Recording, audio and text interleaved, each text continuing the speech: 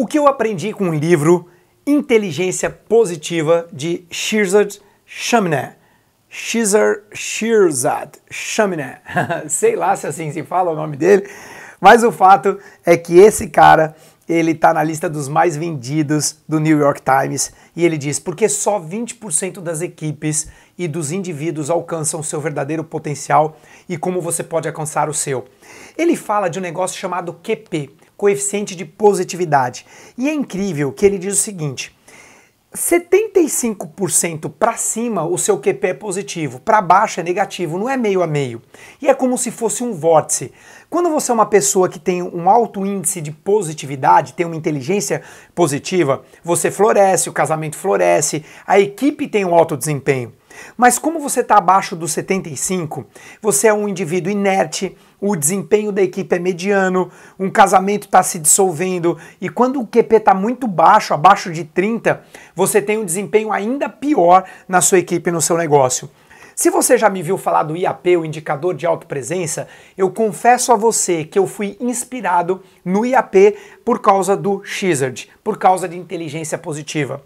Quando a minha equipe estava com a inteligência emocional baixa, eu pedi para todos eles lerem esse livro. Esse é um livro obrigatório, principalmente quando a sua inteligência emocional. O que é inteligência emocional? É a sua energia, é, a, é o seu gás. Se você está é, tá se sentindo sufocado, se você está se sentindo, é, sabe, sem saída, sabe, às vezes você é dono de um negócio, você é um empresário e você sente que você está muito no operacional, pouco no estratégico, não está sobrando tempo para nada, como eu digo no Ultrapassando Limites, se você é um fazedor, se você é uma pessoa que está fazendo, fazendo, fazendo e nunca tem tempo nem qualidade de vida, esse é um livro de leitura obrigatória.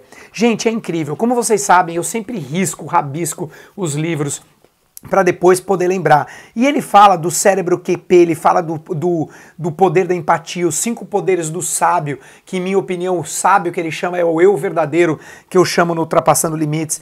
É muito incrível esse livro. Esse livro, ele fala dos sabotadores ou os inimigos internos. O crítico é o principal sabotador, ele fala, é o sabotador universal. Ele fala o seguinte, que tem uma predisposição para exagerar o negativo e supor o pior, porque isso é uma coisa boa para a sobrevivência.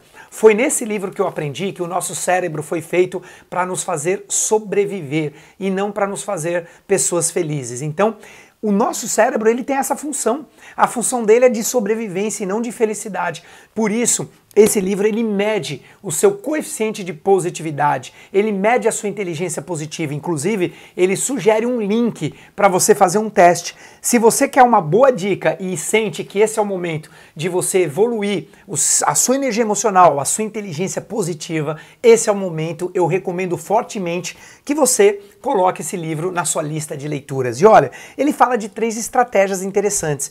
Ele fala o seguinte: para você melhorar o seu coeficiente de positividade, você deve deve atuar em três frentes.